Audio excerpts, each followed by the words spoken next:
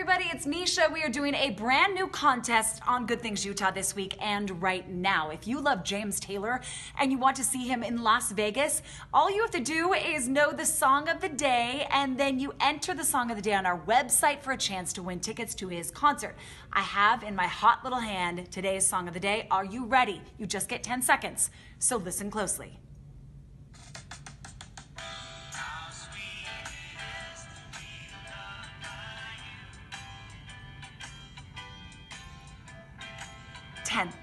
Stop.